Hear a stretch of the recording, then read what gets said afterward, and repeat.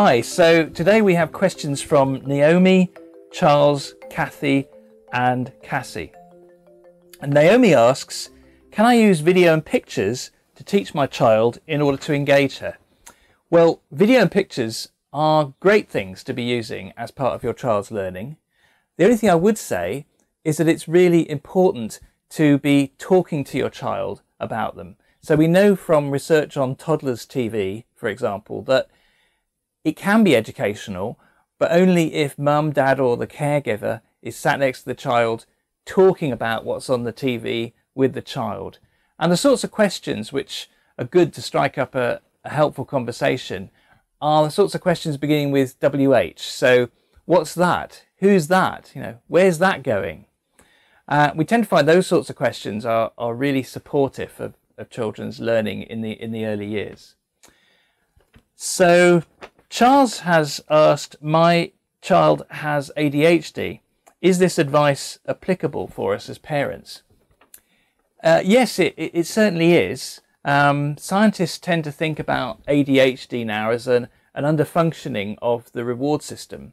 So a child with ADHD is going to respond to their, re- their reward system in their brain is going to respond to exactly the same sorts of things as everybody else's does, but just not quite so so strongly sometimes. So that means that uh, you often have a shorter span of attention, and that means shorter term activities, shorter term targets.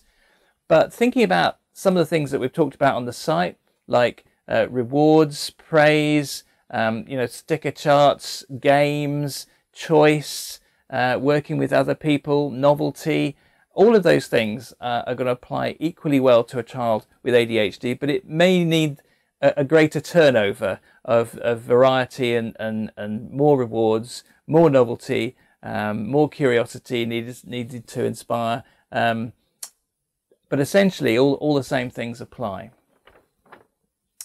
Kathy asks, what is the ideal length of a classroom lesson for a teenage brain and why? Okay, so we're all different. Um, our brains are different in terms of what things engage us and how well we can control our attention. Um, but so therefore, you know, it's not so much that there's an ideal length of a, of a lesson, but what is important uh, is to be monitoring how well somebody is engaging with their learning and perhaps having conversations uh, with your teenager about that and finding a schedule that's appealing for them and that they think uh, will engage them.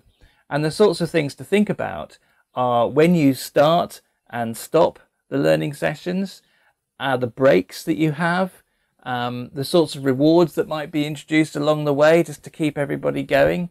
Um, and, and also how you mix up the topics. So we know that spacing your learning out can be really effective. So, you know, a few rapid breaks every now and then. Um, but also interleaving learning, so swapping from one topic to the next. Not so much that it's confusing, but enough for it to add some sort of variety so you don't get bored too quickly.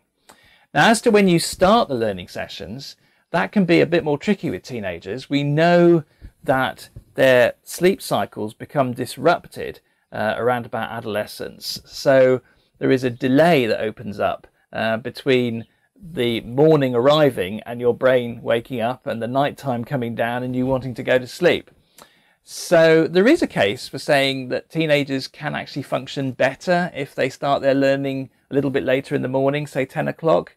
Um, that is an argument. That's something perhaps you could discuss with your teenager. Uh, but of course, there are other issues to bear in mind.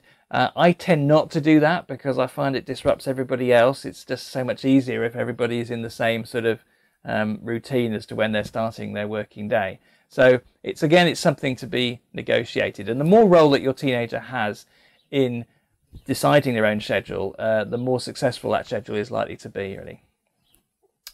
Um, so Cassie asks, what effect does being off school have in the summer on learning? Well, quite a, a big effect, actually.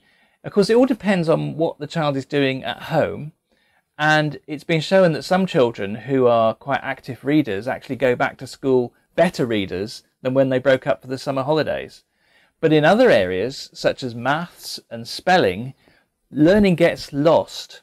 So, in a study in the United States, they have three month summer holidays there, and they found that the spelling lost was actually about four months. So, it took another four months after the children arrived back after the summer for their spelling to catch up to where they were before the summer break. So, I think all that is telling us that the work that you're doing at the moment in supporting your children's learning is really, really important. There are children who are not learning at home now, and those children will probably spend a lot of next year just trying to catch up to where they were a few weeks ago. So, you know, keep up the good work. Um, you're doing a great job, and please do post in any more questions online, and I will try to respond to them um, as best I can to, to help you.